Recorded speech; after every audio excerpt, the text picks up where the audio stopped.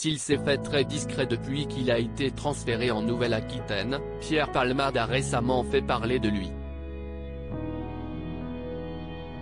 Pour cause, lorsqu'ils ont aperçu les images du comédien dans une boîte de nuit bordelaise, certains clients et internautes se sont alors montrés interloqués par le fait que l'humoriste soit, après l'accident qu'il a causé en février dernier, libre de ses actes. S'il reste toujours suivi par les autorités et le personnel soignant dans le cadre de sa désintoxication, Pierre Palmade peut, effectivement, aller en boîte de nuit.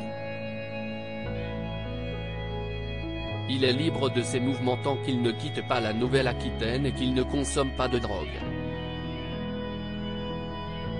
Ce jeudi 29 juin, Paris Match a dévoilé d'amples informations sur sa sortie à l'Ultra Club. Sur place, le comédien y est arrivé vers 3h du matin et est resté 2 heures, le temps de boire de rhum coca et de discuter avec des clients. Une consommation d'alcool autorisée puisqu'il est seulement contrôlé sur sa consommation, potentielle, de cocaïne ainsi que de 3 MMC. Supérieur à supérieur à Pierre Palmade, François Cluzet, Benoît Magimel. Les stars sans tabou sur leurs addictions Pierre Palmade libre à Bordeaux, sort-il seul? Toujours selon les pages de Paris Match, on peut ainsi découvrir que Pierre Palmade ne sort plus seul. Lorsqu'il est de sortie, il est accompagné de deux personnes chargées de veiller à sa sécurité.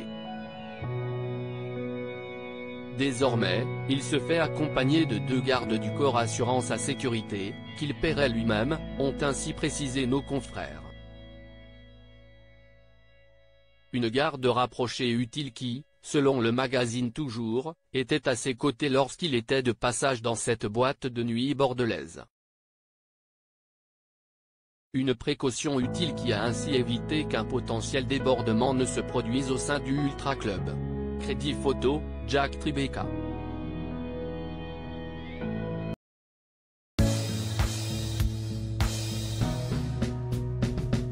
But there's all times through the rough times I've been